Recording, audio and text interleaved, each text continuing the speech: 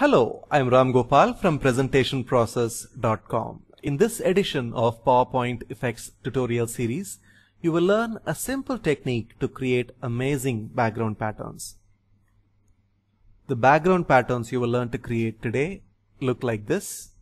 This one, which is a very subtle pattern, and this one, which combines the pattern with a gradient background. So that is how uh, that that is the technique that is the pattern that you're going to learn to create. And let us go to a new slide to create this from scratch. The first thing I'm going to do is to go to auto shapes menu and I'm going to use this rectangle tool to cover the entire slide area corner to corner. Let me remove the outline. Right click go to format shape and you will see this pane opening up on the right hand side and in the fill option I am going to choose this option called as pattern fill.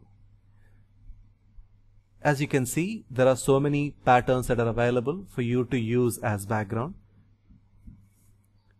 I am going to choose this one called as dark horizontal. So that is the one that I'm going to choose. And even as I did that you can see this beautiful pattern emerging. I can always change the color of the background instead of this white color I can choose something darker like this one. And maybe I can even have a lighter foreground color like this. And here the background is done. All I need to do is to pick this particular uh, text and place it right on top of it. Maybe even change the color of the font. And there the slide is ready so that is the way to create this beautiful pattern. Now let us take the same technique to a whole new level. Now what I'm going to do is this rectangular block that I have right now, I want to cut this so that it goes into the short-term memory of the computer. So I'm going to right click and cut it. Now that rests in the clipboard. Now I'm going to go to auto shapes menu once more pick up the rectangle tool once again to cover the slide area end to end. Remove the shape outline and this time I'm going to fill this with the image that I've cut already. So I'm going to use picture or texture fill and since what I've cut rests in the clipboard area, I'm going to click on the clipboard option. Now I'm going to change the transparency to 0 and you see that this bit is now a rectangular shape filled with the pattern. Now once again we are going to cut this and put this image once again in the clipboard. Once again let us go to rectangle and cover the slide area, remove the shape outline and this time I am going to use a gradient fill. So let me choose the gradient fill option and one of the gradient fills could be this one which is called as top spotlight. And I click on this one to get this beautiful effect. Now when I paste whatever that I have cut earlier is now available for me. Now I'm going to place this above the previous uh, I mean above the background. Now let me go to shape fill. And as I increase the transparency you can see that the background gradient shows through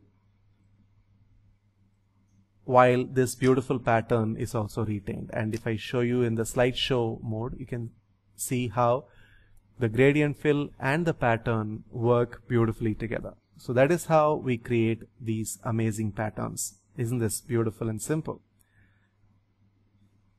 If you don't have the time to play around with the various options in PowerPoint to come up with such backgrounds for yourself, you can always go in for off-the-shelf solutions uh, with PowerPoint CEO packs.